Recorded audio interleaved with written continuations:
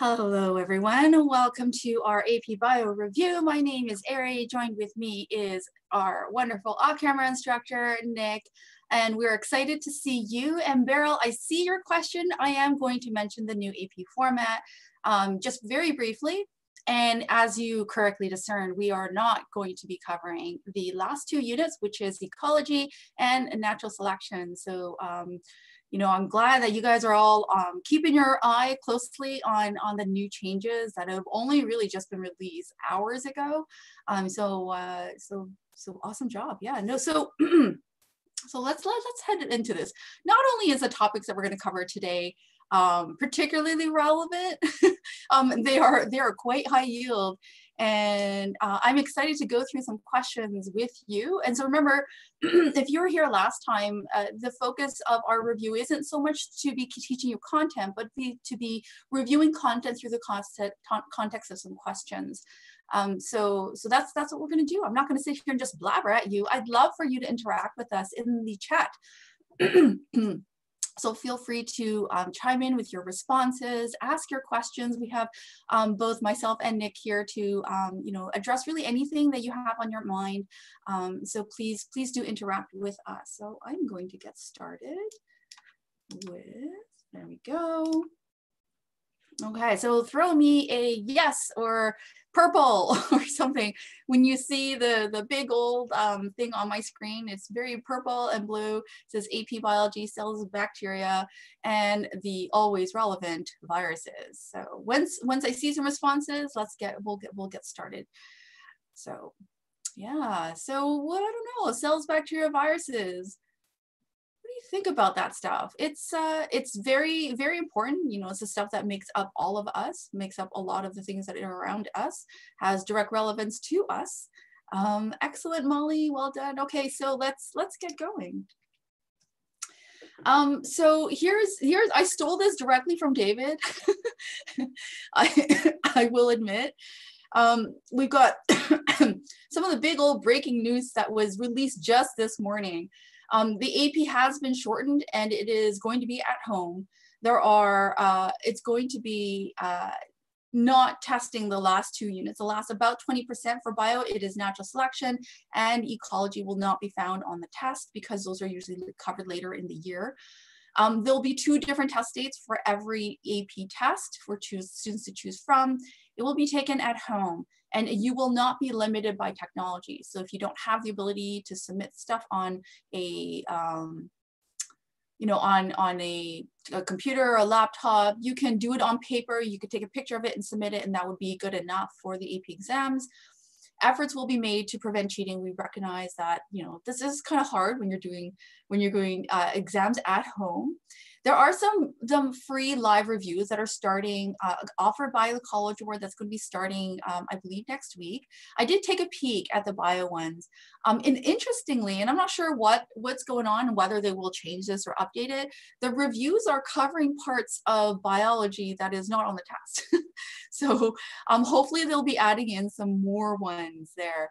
So Molly, at this point, um, if even if the schools do reopen, I'm I'm pretty doubtful if they've made an official announcement that it's going to be at home. It's probably going to stick with being at home, even if the schools do reopen, just because they can't account for all the different places that have um, different uh, you know restrictions on when people are coming back to school. And yeah, Nicole, the entire exam is shortened to 45 minutes, just 45 minutes. Um, the details of the exact dates, the software, the question types, all of that stuff is going to be released April 3rd. So put that on your calendar. Um, College Board will release more details about what exactly is going on uh, with that 45 minutes that you're going to be taking. And yes, Molly, um, I, I saw a very, very recently released tweet from um, the vice president of the, the guy who heads the college boards, the AP exams, and he did say, he did confirm that this was a free response only, so no multiple choice questions. Now, I'm gonna be honest, I prepped for a bunch of multiple choice questions today. I did sneak in one free response at the very last minute. Nick was like, I don't know about that, Aeri, but we will do our best to do that. And um, yeah, yeah, it's going to be only free response. At this point, the information we know, it's going to be only free response. We don't know how many of these. And so Alicia, we are going to be doing, um, at this point in time, uh, we are going to be doing uh, these style of like one hour review sessions covering units. Um, so today is the last one for this week and we're going to run them five times next week. So monday through friday next week we're going to cover all the units sampling from all the units.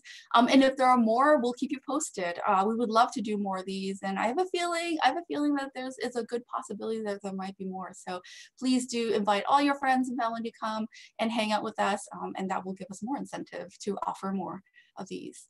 And bella yeah it's not going to be uh, it's not going to be it's going to be like probably shorter, a couple of short free responses, but beyond that, I'm not, I'm not 100% sure.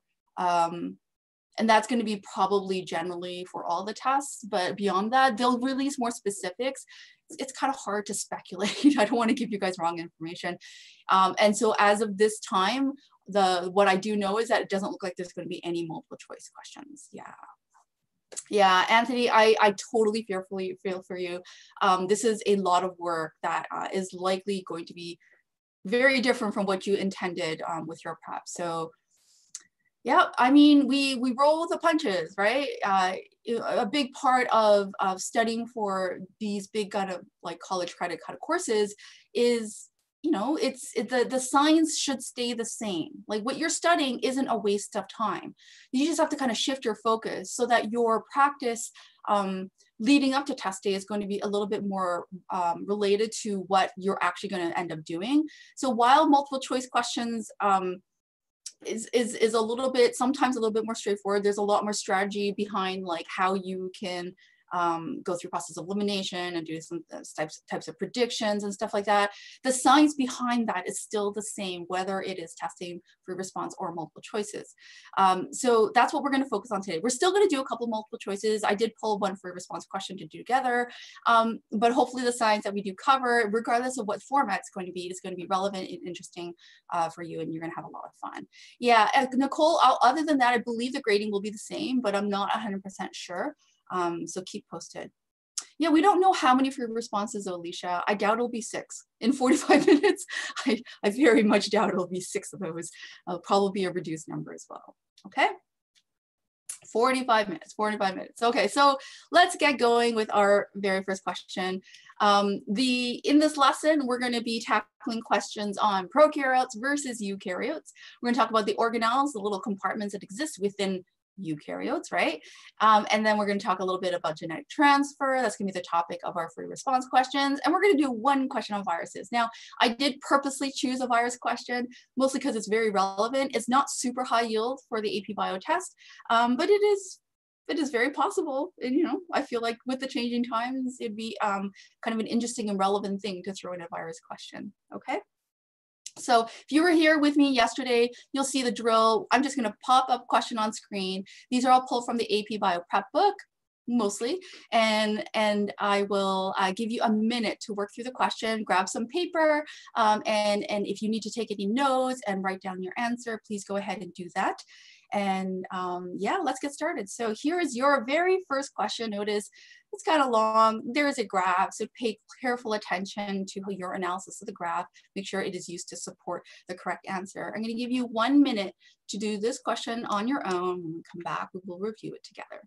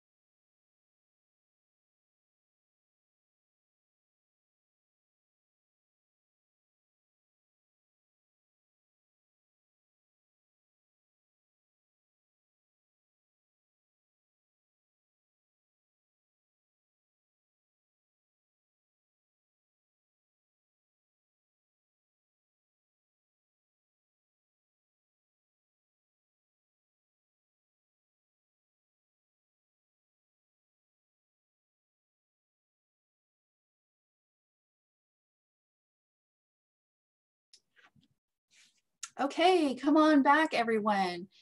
We have scientists looking at mitochondria and several sets of human tissue. They look at the content of mitochondria by measuring the activity of a certain kind of enzyme that only exists in mitochondria. We've got our graph below, and then we're looking for the hypothesis that would strongly most justify the observation. Now, I take exception to language like this. What is, if you see things like best supports or most justified, sometimes you might be tempted to think, hmm, well, I bet that there are some answers that are kind of justifying or some answers that are partially correct. Don't do that. On a test, there's no such thing as I have to make decisions as to which one is a better answer, which one's a worse answer. There's only one right and there's going to be three wrong. Now, I know, I know, I know for fear response questions that not necessarily true, but I think the thought process is still the same. Don't get trapped into trying to use an answer choice that is not supported by the data. Only one of these is going to be supported by the data. Before you look at the answers though, you take a look at the graph. And so your big takeaway, and we talked about this yesterday when we were analyzing graphs, um, what is your big takeaway so you can see on the bottom, on the y-axis, you have those different kinds of muscles, uh, uh, different kinds of tissue. You got muscle, heart, liver, kidney, brain. And then on the y-axis, you have how much mitochondria exists. So tell me your big takeaway. What is what kind of like pops out at you um, based on your initial glance through at what is being assessed, what is being measured, and what does the trend in the data tell you? Ria, it will stay um, on, on YouTube for a bit, yeah. Why don't you tell me in the public chat, what is your big takeaway, your big trend? And I want you to make sure to do this in your own practice. When you're given data, you look at it, you figure out what does this data tell me first, and then you look at the answer choices. If you do it backwards, a lot of these things are going to be very, very tempting. so I'll be quiet. Go ahead and tell me, what do you think?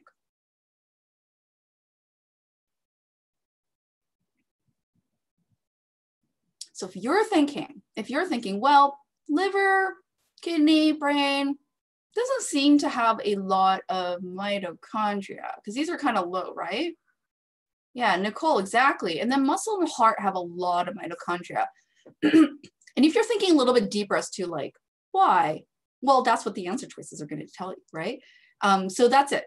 I would say liver, kidney, brain, not a lot of mitochondria, muscle and heart has a lot. So we're looking for something that's going to support the reason why the muscle and the heart would require more mitochondria.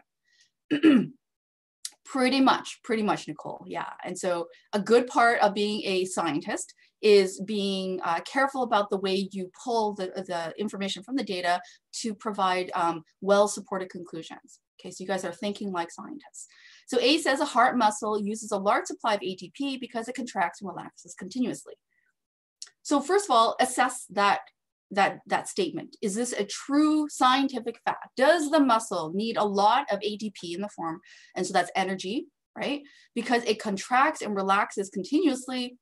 Yeah, yeah, that, that makes sense, right? Now, does that link with the data?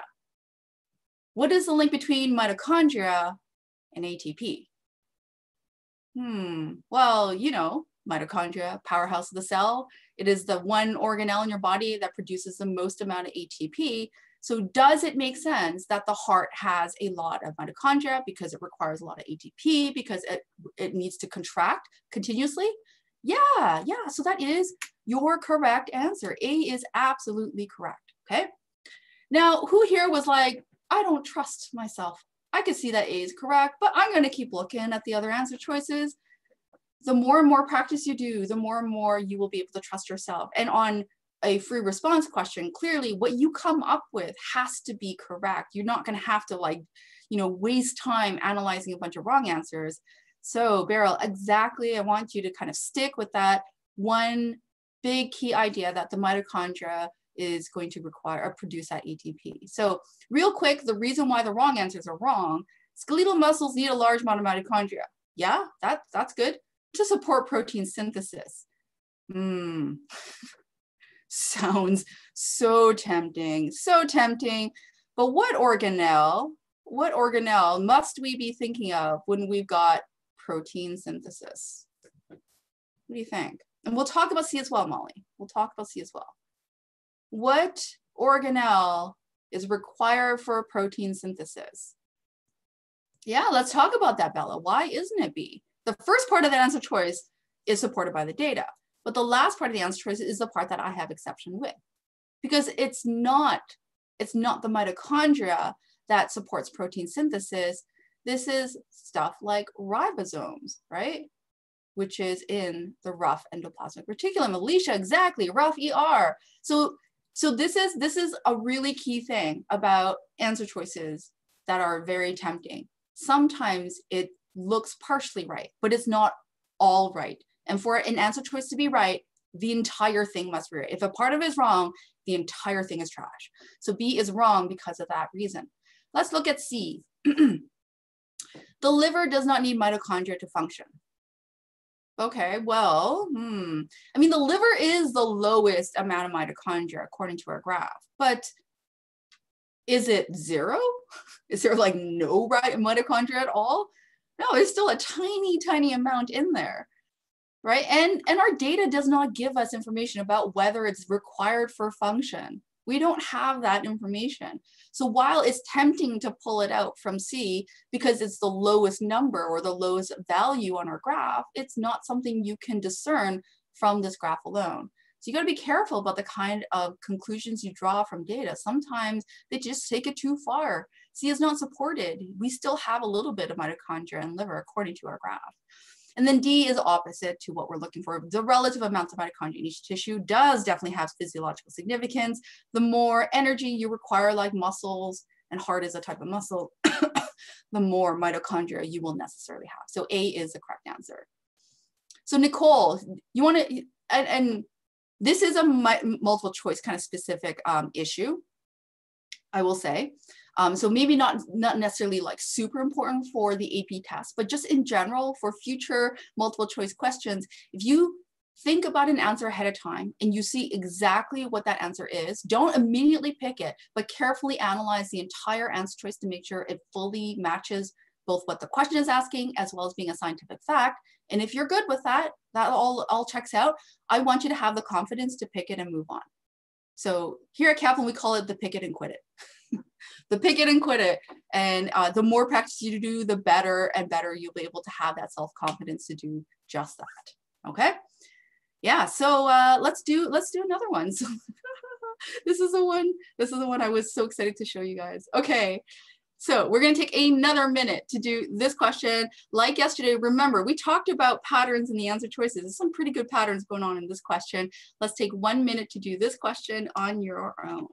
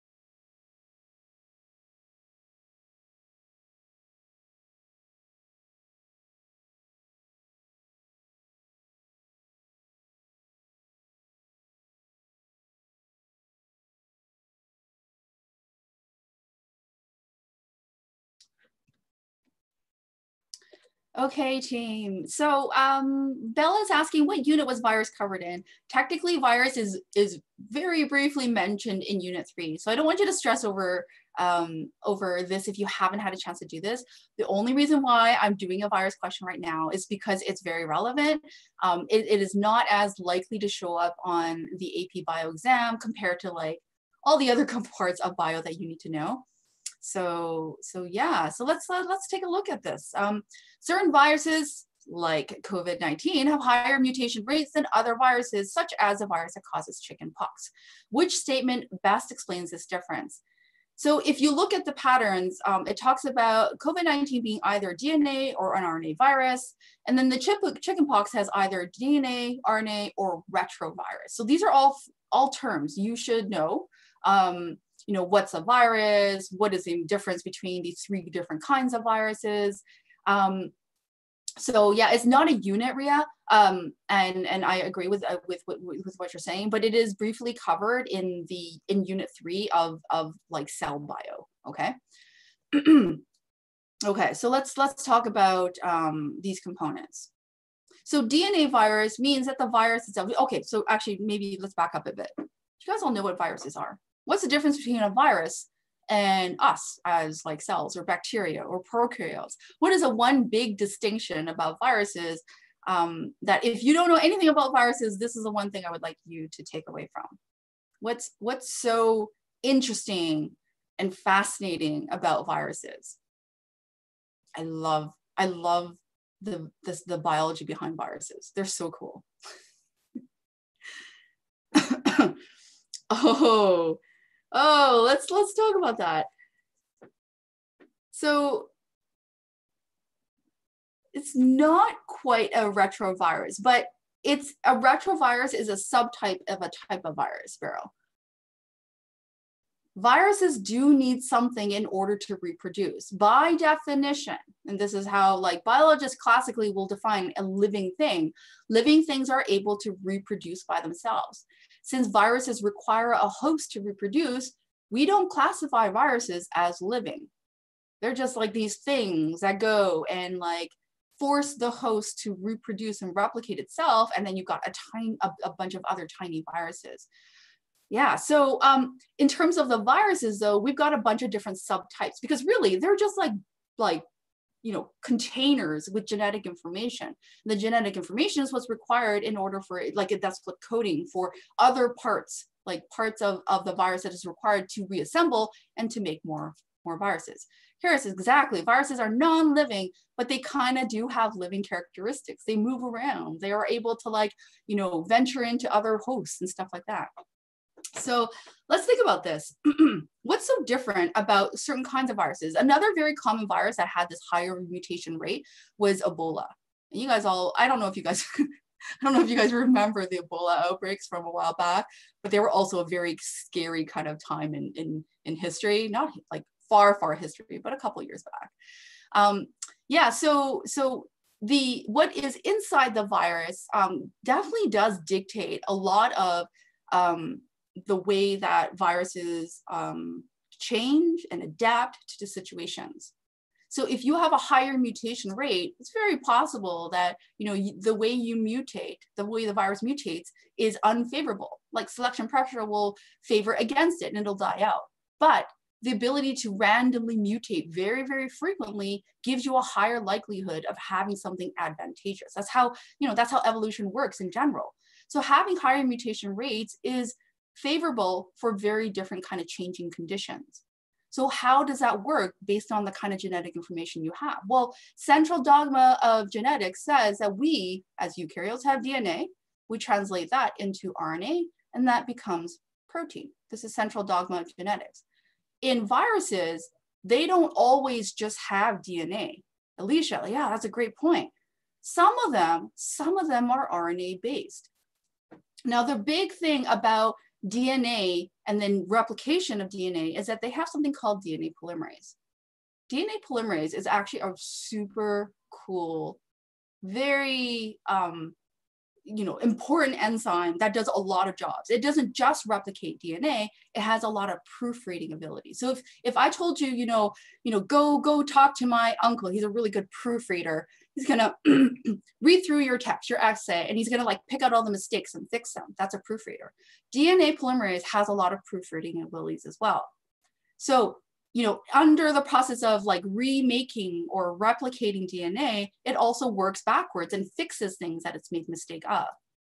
But if you have an RNase-based enzyme, an RNA-based enzyme, and it's directly, it's, it's called positive sense RNA, it's directly translated into protein. Well, when you have an RNA polymerase, it doesn't really have that proofreading ability. And so it, it's very prone to making a lot of mistakes. Sometimes, most of the times, those mistakes are bad and that virus won't survive. But on occasion, that mistake is very favorable. And so that's what's leading to the higher mutation rate. So the reason why the correct answer here is B is because COVID-19, like Ebola, is an RNA virus. DNA virus is like chickenpox. It's very stable, doesn't change. Once you're um, vaccinated against chickenpox, it tends to be that you don't ever get it again because chickenpox virus is the exact same all the time because it's a DNA-based virus, okay? Um, retrovirus is another type of an RNA virus. So that's why that's why like C and D are wrong. Um, so chickenpox is not a retrovirus. What a retrovirus is, and this is another really cool thing. Um, retrovirus is essentially, what does retro mean? Like retroactive, you know, retro something. It means to go backwards, right? So retroviruses essentially go backwards. They have something called um, a retro, uh, like a, a type of retro polymerase and then it re it goes backwards in the in the kind of the central dogma process is it makes dna and that dna isn't just like oh just make more of my my my my virus. It inserts it into the host. And so it goes sometimes it goes dormant. If you've ever heard of things like um, the herpes virus like the little cold sore virus sometimes like it's like not there. Other times it kind of like breaks out. Um, when it's not there it's because it's not actively replicating uh, little viral things reverse transcriptase, Beryl, you are on it. Well done. Yeah, they have um, a type of enzyme called the reverse transcriptase that goes from RNA to DNA, and that DNA then inserts into the host genome. So nice, cool, right? Science is cool and relevant. Um, so I hope you learned not just a little bit about, um, you know, the stuff for AP Bio, but you learned a little bit about why COVID-19 um, did have that high rate of mutation where it was initially an animal virus, but because it's an RNA-based virus, this is true of really any RNA-based virus, they're a little bit scarier because they have that higher mutation rate. Okay. So let's take another look at a different kind of question. We're going to kind of shift over to some bacteria stuff. So just like last time, um, I'm going to go ahead and give you one minute to do this question on your own. Go ahead and throw in your answers into the chat. Don't be afraid. If you have a different answer, be brave. Put that in the chat too. So we'll, we'll, we'll get a chance to answer all your questions. So one minute here.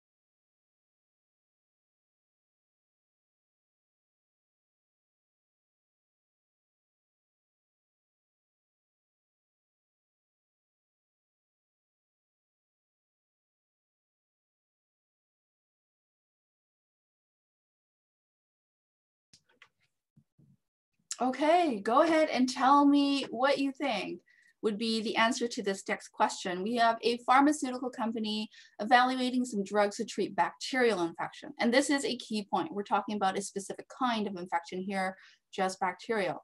We have a couple of different candidates using different mechanisms of action. Which one would be the most safe for humans? Whoa, Rigeu, if you are not taking AP Bio, you are um, well set up if you are interested in taking AP Bio in the future or doing that. Ah, I like what you guys are possibly saying. So Lishak, Shara, Farhan um, are saying C. So we'll talk about B and C specifically because, um, you know, we don't have a consensus and that's okay. We don't have to. Um, really, the heart of this question is asking, like, if you want it to be safe for humans, right? If you want it to be safe for humans, then you don't want it to have something that is common with humans. Okay, so what is different between uh, bacteria and humans? I mean, many, many different things. Obviously, we are multicellular, but at the cellular level, team, what do you think? What is the difference between bacteria and human at the cellular level? There's really one key component. Um, no, there's a couple of key components I want you to fix in on. Let's think. Well, bacteria are type of prokaryote, right? Prokaryotes have um, a lot of a, a lot of the same kind of cellular machinery, but the way that they're inside of their cells are arranged is very different if you're a eukaryote. Eukaryotes have something called um, organelles, right? So they have membrane bound organelles. They've got like things like mitochondria. They've got, um, you know, a cell membrane around the nucleus. They've got Golgi, they've got ER, things like that. And while a lot of those processes still happen in the prokaryotic system, they just don't have them all neatly divided by with cellular membrane. Yeah, Molly, yeah. So that's that's kind of a key component. So that's one big thing.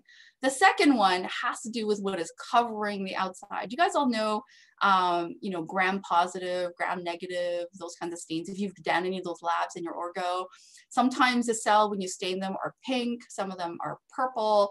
That has to do with one key component um, that exists on the outside of bacterial um, cells that we don't have as eukaryotes. We don't have. And so as Molly and um, let me let me see who was it that said it a little bit earlier. Um, Rigeyu said it has to do with the cell wall. The correct answer here is actually B. A molecule that inhibits the cross-linking of subunits in the biosynthesis of cell walls is the key component where this would tar target bacteria, but it would not really affect humans because humans don't have cell walls. What do eukaryotes have instead? What do we term as a thing that envelops the outside of our cells? It's not cell walls. Cell walls have things like peptidoglycan. Um, and we don't make peptidoglycans. Our outside covering is generally lipid based, and we call that not cell walls, but what do we call that? Yeah, now we know. And really, if you're doing questions and you're expecting yourself to get them right, you're not learning. So we're doing hard questions for a reason, is that I want this to be an opportunity for you to dig into what you do know and what you don't know. And I expect answer choices to be wrong, and that's okay, because that way you know exactly what to fix for for next time. Okay, so to answer my question a little bit earlier, the thing that we have as eukaryotes on the outside is called a cell membrane. So a cell membrane, if you've ever seen like diagrams, they've got these like, you know, these kind of things, right? Yeah, phospholipid bilayer, blah, blah, blah, things like that right? So this is what we have on the outside. While um, bacteria also have phospholipid bilayers, they also have an additional component on the outside of that called the cell wall. And so that can be a thin one or a thick one. That's, that's the reason why you get different kinds of staining, gram staining um, for bacteria. Uh, yeah, yeah, good, okay. Um, real quick, um, A, C, and D are all things that is true of um, eukaryotes. And that's why C is wrong. Golgi apparatus is something that only exists in eukaryotes. So those actually be kind of bad. That would specifically target eukaryotic cells, human cells. Um, and a molecule that inhibits the biosynthesis of phospholipids in the plasma membrane would also target both. Okay, so Molly, would these questions be considered harder questions on the test? I did purposely pick harder questions for a reason. Um, you know, questions that just test recall of knowledge aren't um, as interesting, honestly, to cover in a, in a, in a review session. And then secondly, you're just more likely to know them if you don't. Like if you just, you know them or you don't. Um, and so I did choose questions that were a bit on the harder level, um, just so that we can foster a bit more conversation. You get a chance to review a little bit more. Great question, Kaylin. Yeah, what does it mean by cross-linking of subunits? Now, I'm gonna be honest, I don't remember the exact way that peptidoglycans link together. What I'm assuming is that like peptidoglycans got a lot of like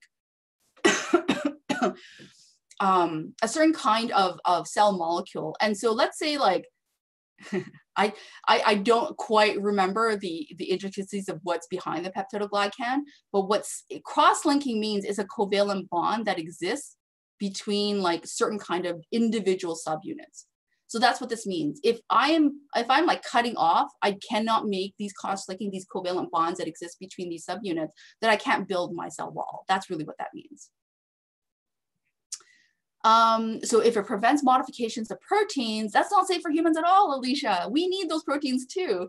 A molecule that prevents modifications of proteins would be very bad for humans because we are um, a large part of protein, like our muscles, our, our, our skin, the hair, those are all like um, things that are protein based, okay?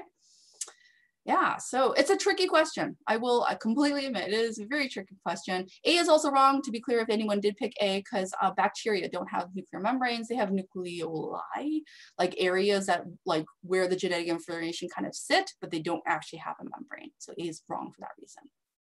Okay, so I'm gonna I'm gonna do something. Um, one second. At this. Okay. So what I think would be helpful for us to do is kind of walk through a free response question. Okay, we're gonna walk through a free response question. Um, and I'm gonna do my best to kind of like talk through the question the the actual you know information as to like what you should be writing down for questions like this one isn't something that i'm going to type on screen but we will we'll kind of like walk through them together so um, what i would like for you to do is um, this is it. Okay, so I'm gonna give you, mm, we'll say like a minute and a half. Okay, a minute and a half. Don't worry about the questions on the side. What I want you to do is just take a look at the stimulus. So it's a short paragraph and a little uh, diagram. Take about a minute and a half and then think about what you do know about it. Um, and if you want to, you can kind of you know, head on over and, and look at the first question that's on the side, but we'll kind of talk through the question together instead, okay? So one and a half minutes to take a look at this, the stimulus on the left on your own. If you have time, and in addition, you can take a look at some of the questions as well. So uh, let me just grab my timer, not 10 minutes. There we go. Okay, so one and a half minutes just to look at the stimulus.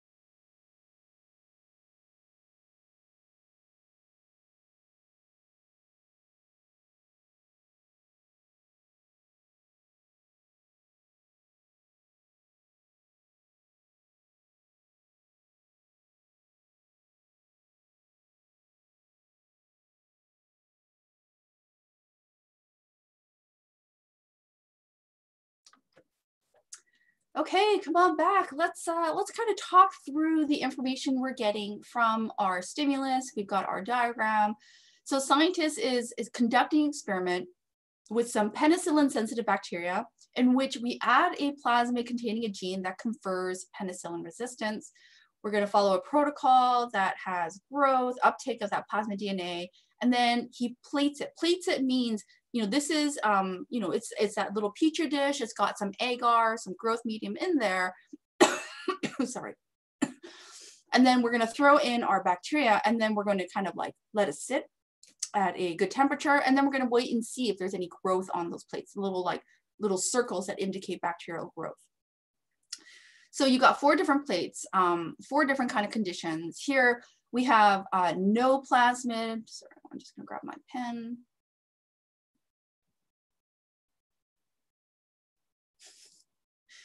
Doesn't want to give me a different color. I don't want to do red. Okay, so we've got no plasmid, no antibody, right? No plasmid with antibiotic, uh, antibiotic, sorry. plasmid without antibiotic, plasmid with antibiotic. Um, and so the first part of this is um, talking about plasmids. So um, in, in the context of discussing this, we're actually gonna probably answer a couple of these prompts. Um, and then we'll talk about like, how do you, how do you wanna like arrange that on a free response question? But go ahead and tell me, what do you know about plasmids? What are, what are so, like, why do we term plasmids as something that is actually pretty different from chromosomes? Hmm, plasmids. What are plasmids? Um, I think we made some like very brief mention of them possibly in some of the earlier questions. If we didn't, we just, I skipped them. um, but plasmids are something that we as eukaryotes don't, um, don't use because what the way plasmids work are, are quite different from the way our genetic information is rearranged.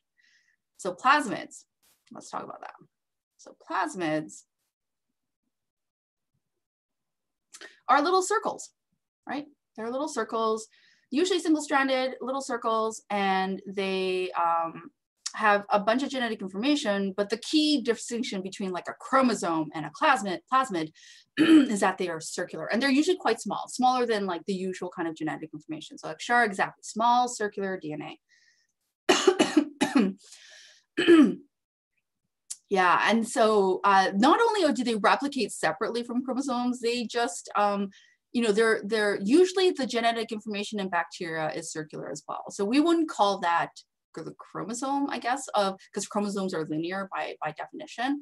But yeah, so plasmids do contain genetic information and they do reproduce um, uh, not differently, but they are kind of sep like they they there's like you know there's a host like the the the usual cellular genetic information and then there's like another additional kind of circle there and that's what we would usually call as a plasmid um, so what does what does that mean? So how do they involved in genetic information? So usually what you can do is just introduce a plasmid to a bacteria, um, and then they provide bacteria with like things like cool additional things like I don't know, uh, antibiotic resistance, like a, a, gene that will um, allow a bacteria to survive the presence of a certain kind of bacteria, uh, uh, antibiotic. They might confer advantages to survival. They might make you grow better. They might you know, make it more favorable for reproduction. So it's just, it's genetic information, but what's on there though is gonna be, um, you know, in, important um, depending on the kind of conditions that they're, that's in. So for, for A, so it says describe plasmids and their involvement. What you want to have is circular, small circular pieces of DNA. Um, they replicate independently. You want to also describe how they have genetic um, advantages, like um, surviving in the presence of antibiotics for reproduction and for, for growth as well. Okay. So that's, that's the A part of this. B says predict what will happen on the plates. So let's walk through these one by one. So if you have lots of like good stuff in the medium, so glucose with no antibiotic and bacterial plus strain without any plasmid, why don't you go ahead and tell me, what would you predict to happen on my plate? So no antibiotic, right? And no plasmid.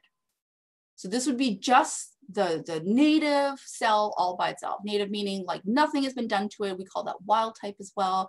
This is just the cell all on its own. No, you know, no thing to like, no antibiotic to make it go away, but it doesn't have that cool additional plasmid.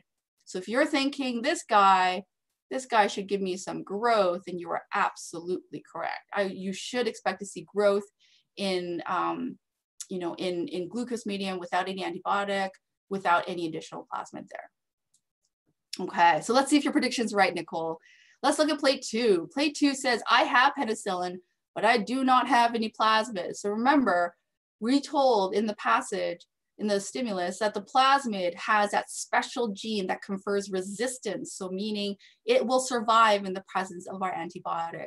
So if I have a bacteria that has no plasmid and I have penicillin around, here I should expect to see no growth. That means that's a no. no growth here. no growth. Okay, so um, if we look at three, throw in your, your predictions here, right? This is that active component of learning I, I mentioned earlier. Yeah, Murigayo, exactly, no growth in two. Um, for plate three, we have um, glucose, no antibiotic with the plasmid. Having the plasmid around doesn't give you anything extra if, um, if there's no selection for it. So with no antibiotic, you should expect to see nothing different. The plasmid isn't gonna do anything bad, it's only gonna be good. So you shouldn't expect to see anything different over here. You should expect to see growth in three. So last bit, last bit, plate four, we have glucose medium with penicillin. And in plate four, we also have that plasmid added. So this is like the big kicker, the big difference between these two. Go ahead and give me your prediction for plate four. If I have plasmid around and that plasmid has that special gene, and then I add in penicillin into the medium, what should you expect to see in plate four?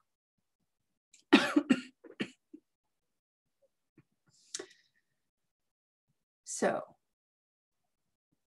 as Nicole had correctly predicted a little bit earlier, um, the only plate that should have no growth is plate two. Plate four will also see growth because I have that cool, like, you know, I'm gonna, I'm gonna, it's like a little part of the gene. It's got that um, I'm gonna draw like a shield. I'm such a bad drawer, you guys. this is a shield to antibody. And oh maybe we'll call it penicillin. I, I suppose we should call it penicillin. There we go. I should not freehand draw. this is like a shield, okay? And then this is like penicillin, go away. X out. Okay, yeah, so I should, yeah, I have that resistance to it. Well done, team, well done. I will see growth in four. Um, and, and, it's all because of that cool little penicillin, uh, that plasmid. Okay, so that's our prediction for the growth patterns, and that would be um, the correct answer to be predicting the growth patterns. So C, we kind of already did it, honestly. All you gotta do is walk through each one of these plates. Plate one will have growth because there is no antibiotic in the medium. Plate two will not have growth because there is antibiotic and there's no plasmid to confer resistance. Plate three will have growth because there is no antibiotic, even though the presence of the plasmid is there. And then exactly Molly, plate four will have growth because penicillin is there, but the plasmid will confer resistance. That is justifying your prediction. So make one sentence for every one of those um, and, and show exactly why the prediction is supported by using that science terms, and then you're good to go. The last part is the one that isn't really related to this. I mean, it kind of is. It talks about how they have a protocol that initiates the uptake of plasmid. So there's a couple of different answers that would all be supported by answer choice D. So the protocol that scientists use to encourage the uptake. Now, let's say you haven't covered this and you're like, I have no idea what, what any of that is. Well, you know, one way, one way is to essentially just poke holes right? If you if you poke holes into this guy and all you're trying to do is like you want your cool little plasmid to go into the cell, right? One way is to just poke some holes. A, a way to poke some holes is something called calcium chloride treatment. Calcium chloride. So calcium chloride um, is a chemical way of inducing um, transformation. Transformation is the term we use to say that we want our bacteria to uptake some plasmid from the environment. So calcium chloride treatment. Um, so that would be one method. So this is like chemical. Okay. Um, a second way would be to essentially heat it for a really short period of time, make it nice and hot. So it's called a heat shock. So that's another way to do this. Um, a third way you can consider is uh, sonication. So sonication is just a fancy term of, um, you know, is, is, is like shaking. It looks like it's essentially just shaking it. But all that is doing is just like making making the plat the, the membrane a little bit unstable, allowing for the, the movement of plasma going into the cell. Um, sonication is often used to clean jewelry. Like if you've ever had your ring cleaned, that's sonication as well. Okay, so Flora, good question. How would a question like this be worded um, on the new AP exam? And be honest, we don't know we only got word of the, the, the actual changes for this test. Um, but I feel like this would be a fair kind of, I mean, maybe, maybe not as many parts if this was a short answer kind of question, but this would still be, I feel, I feel like this would be kind of in, pretty in scope of um, a free response question on the test. Um, and so Nicole, what do they look like for the processes? This is what I mean. These are all processes for transformation, which is essentially what this question is asking about with the protocols that is um, being, uh, being followed for the uptake of the plasmid DNA. That's what that means. and Beryl, is this like recombinant DNA? A lot of these um, protocols are used to uh, do recombination, right? So when we are, um, you know, how they make insulin these days, uh, they use little bacteria and they introduce the plasmid that has the insulin gene on it and they put it in bacteria and they're like little uh, protein factories. They overproduce that, that protein, they purify the insulin out. And so that is a type of recombination. Recom recombination just means like mix and match. We're taking a human gene, putting it into a bacterial um, so that for the purpose of, of making lots and lots of that protein. So exactly correct. That is a lot of the processes used in recombination. Um, electroporation. Oh, that's another one. I didn't even think of that one. Nicole, awesome job. Yeah, electroporation. I'm impressed. Yeah, it's a, it's a little like electric shock. Also does the same thing. It makes little holes allows for the movement of plasma to go inside the cells. Remember, there's no nuclear membrane, Nicole. Um, so this would be the, the outside membrane of the bacteria, but yeah, same deal, same deal. Um, you would not have to draw a diagram for this one. All you would need is uh, like a, you know, a short paragraph for each one of these stimuluses. Nice, well done. Okay, so you know we've done this. We've we've gone through a free response question. I do want to kind of end this with one last question. Um, so let's see if I can get it here. Last question. We're going to do one minute, one minute to work through question um, on screen on your own. I'm going to tell you something kind of cool about this question when we're all done. So one minute for this last question together.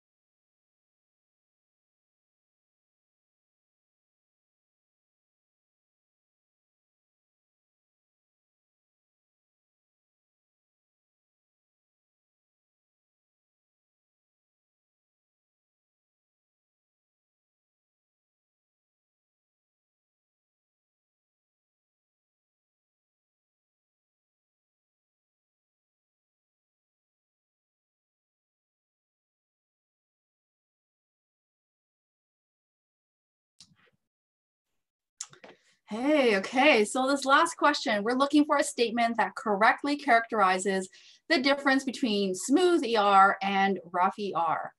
Yeah, so yeah, so I mean, this is this is not not too bad. You again look at the patterns. You've got smooth ER. It says it's either protein or carbohydrate hydrate biosynthesis. Rough ER says things like lipid and protein and carbohydrate biosynthesis. We got three types of biosyntheses going on and we're, we're trying to mix and match uh, the correct combination. So, mm, okay, so uh, smooth ER is smooth and rough ER is rough because of how it looks like when you're looking at, at the organelle under a microscope. So go ahead and tell me, what makes rough ER rough? And then that'll help us understand what's, what's smooth ER. What do you think? What makes rough ER rough? What gives it that bumpy, bumpy appearance when you're looking at rough ER under a microscope? It's a certain kind of protein, very important for the biosynthesis of this one big macromolecule that is so important to our bodies. and we'll talk about that flora. Yeah, we'll talk about what smooth ER does then. I feel like a lot of you do know this, and um, you uh, all answered so quickly. It's ribosomes. You got it. Ribosomes are the key component for translation. So the, the, the biosynthesis of proteins. So if you're like, I know that part, rough ER is protein biosynthesis. Y'all, like, look at that. There's only one answer choice that gives you that. All you had to do was know that rough ER was protein biosynthesis. and then it didn't really matter what was going on with smoothie r right there's only one answer choice that had that that's the pattern of that's the power of of, of you know leveraging the knowledge that you do now. So real quick smoothie r um, is involved in lipid biosynthesis as well as carbohydrate biosynthesis. Yeah um, and uh, so lipid biosynthesis is things like plasma membrane things a lot of the cholesterol um, steroid hormones are also kind of synthesized there.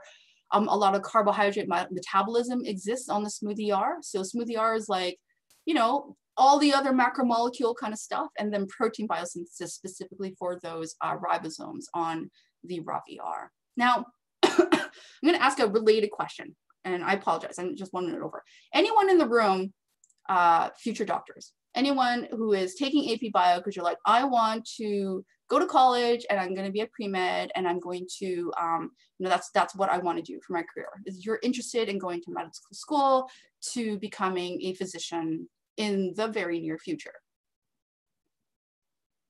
Because I'm going to tell you something kind of cool about what you're doing right now with this test. And I hopefully it will help you um, give some context for not just the immediate, like the AP bio exam, but give you some context for the future.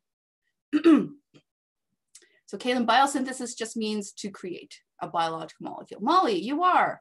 You know this question? Flora, you too? Yeah. Marie I feel like those are all very relevant and related processes. This is uh this is not from the AP Bioresources. I took this. I took this question from uh, an MCAT practice test. So MCAT is a medical college admission test, and uh, and I want you to recognize something really important is the stuff that you are learning for AP Bio is directly related to the stuff that you have to study for going on to um, and, and, and you know doing the standardized test for med school. so I want you to think about the long-term stuff that you're studying right now because it's not something that you just want to like cram in your head for the short term and run away but you know this is this is relevant um, and it is something you will need to continue to know for the future. So I don't want you to cram for the short term. I want you to try to understand the reason why the stuff that you are memorizing and will and you know future you will, will certainly help yourself okay so you they will thank you okay so that is it for today. Um, I had a lot of fun with you all. I do hope that um, you know we get to meet again next week. Come back on Monday at 3 p.m. We're going to do some more AP Bio, moving into Unit 3. Um, and you know, as the information comes along to us, we will definitely continue to share it with you um, and tell your friends to come. I had lots of fun um, and, and, and thanks as well to Nick. I hope to see you all back here on, on Monday.